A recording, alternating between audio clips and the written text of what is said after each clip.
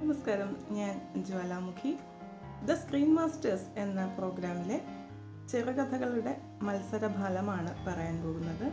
ധാരാളം ചെറുകഥകൾ അയച്ചു കിട്ടിയിട്ടുണ്ട്. അതിലേറ്റവും മികച്ചത് എന്ന് തോന്നുന്ന അഞ്ച് ചെറുകഥകളാണ് മത്സരത്തിൽ വിജയികളായി തിരഞ്ഞെടുക്കപ്പെട്ടിരിക്കുന്നത്.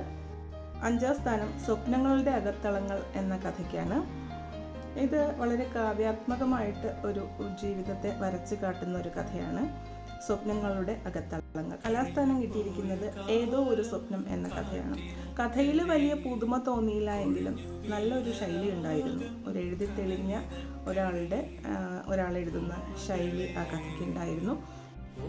മൂന്നാം സ്ഥാനം കൊടുത്തിരിക്കുന്നത് ചെസ് നമ്പർ നൂറ്റി നാൽപ്പത്തി ഏഴ് സ്വപ്നം കാണുന്നവർ. കഥയ്ക്ക് ഹെഡ്ലൈൻ സ്വപ്നം കാണുന്നതെന്ന് തന്നെയായിരുന്നു. എല്ലാ തരത്തിലും വായനക്കാരെ ആകാംക്ഷയിൽ നിർത്താൻ കഴിഞ്ഞ ഒരു കഥയായിട്ടാണ് എനിക്കത് തോന്നിയത്. മൂന്നാം രണ്ടാം സ്ഥാനം കൂട് എന്ന കഥയ്ക്കാണ്. വളരെ മികച്ച വായനാ സുഖം നൽകിയ മികച്ച ആഖ്യാന ശൈലിയുള്ള ഒരു നായയിലൂടെയാണ് കഥ പറഞ്ഞു പോകുന്നതെങ്കിലും ഏറ്റവും വ്യത്യസ്തമായി മികച്ച രീതിയിൽ അവതരിപ്പിക്കപ്പെട്ട ഒരു കഥയാണ് കൂട്. ഒന്നാം സ്ഥാനം ആർക്കാണെന്ന് നോക്കണ്ടേ? മകൾക്കായി എന്ന കഥയ്ക്കാണ് ഒന്നാം സ്ഥാനം.